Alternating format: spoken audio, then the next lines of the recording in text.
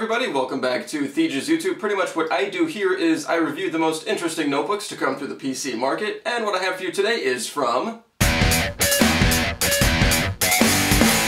Samsung. This is the NP305 3 Series notebook. He MSRP is for about $500 and he includes AMD's new APU, the A6-3400M. It's a quad-core 1.6 GHz CPU mated to a 6520G Radeon GPU.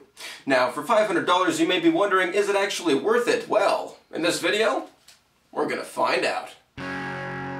Samsung is a company that is most well known for its high quality electronics and increasingly for their mobile phones. Well, they also make high quality notebooks and they're well known for their style, performance, and desirability. This notebook, the NP305, is part of Samsung's 3 Series, a line of notebooks built for the budget conscious consumer with an MSRP of $500, this notebook comes loaded with the AMD A6 APU, a 1.6 GHz quad-core CPU mated to a Radeon 6520G GPU, 4GB of DDR3 RAM, a 320GB 5400 RPM hard drive, all stuck to a 15.6-inch 720p matte screen. Let's take a look at what you get in the box. The Samsung box that it comes in maintains the company's simple styling presence, What's nice about this notebook is that it comes with recovery media, indeed a rare sight in the big league OEMs. Firmly secured in the box, the NP305 comes in a thick plastic wrapping, and the battery is the typical 6L, with a power adapter that is smaller than the average 15.6-inch notebook adapter. The lid takes two hands to open, and booting to that window means that Samsung engineers tested the boot process before it left the factory. Already from the get-go, the NP305 is a very different notebook experience than anything I've had in the past. Upon first boot, I was asked if I wanted my computer to talk to me in Spanish or English, an irreversible choice. There's also a partition manager utility that can either leave your hard drive whole or split it in two. The battery life of this 3 Series notebook isn't anything special. Under internet work use, you'll net around 3 hours. Let's see what all those holes in the side do. On the front is the card reader. On the right, we have the DVD-RW drive, two USB ports, and a lock slot. There's nothing on the back, though it is quite stylish, and on the left we have the DC in, LAN, the vent, VGA, HDMI, the third USB port, and mic and headphones in. It's as simple as connections get on modern notebooks. The top of the notebook features a nice grooved finish that doesn't accumulate fingerprints, save for the Samsung logo naturally. The Samsung seems to be the most prudish notebook I've reviewed so far. The one screw that holds the bottom cover on is as tricky as a chastity belt, requiring an especially small Phillips head screwdriver to remove. In other words, my tool is too big for this Japanese design notebook. The only glossy part of this notebook is the black area surrounding the keyboard. Everything else will not reveal fingerprints. The overall styling impression is simple, yet rather elegant for a $500 notebook. Although Samsung makes some of the highest quality televisions, don't expect a miracle with the screen, although I have to say that the viewing angles are less narrow than on the cheaper notebooks I've reviewed, like the lower quality HPs, Acers, and the Lenovo. Samsung even incorporates color calibration for when you're watching movies. Also, it is a matte screen, so direct light reflections are going to be heavily reduced, and it still gets plenty bright.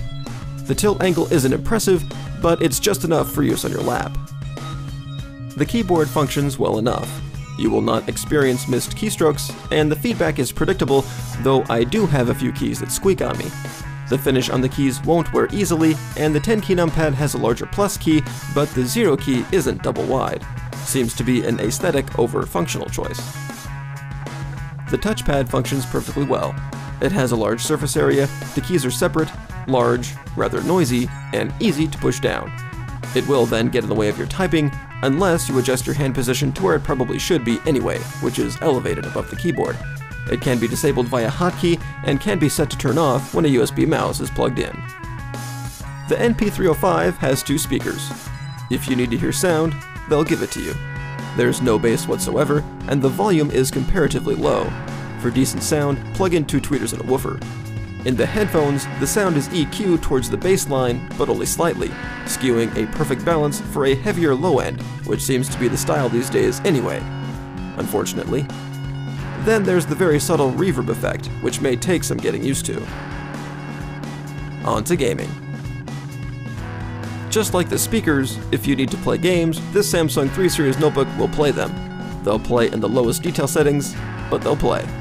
Compared to the A4 and the HP G4 I reviewed last, the performance is a letdown. I've read that the A6 APU is capable of more than the A4, but when it comes to the Samsung, this simply isn't the case, and despite having a slightly more powerful GPU, the performance is identical. Although it may not be the case, I'm blaming the lack of performance on Samsung, who opted for a quiet notebook experience over a performance-oriented one. The fan itself is almost never audible, mostly because it hardly ever spins at all. Plus, on top of that, there's silent mode, where the fan spins even more softly. The end result is a downclocked APU that runs at suitable temperatures, though it does heat up the bottom of the chassis considerably. I've been using my notebook cooler while playing games on this notebook. Otherwise, during normal use, it's cool enough to use on your lap. In conclusion, students get a thumbs up.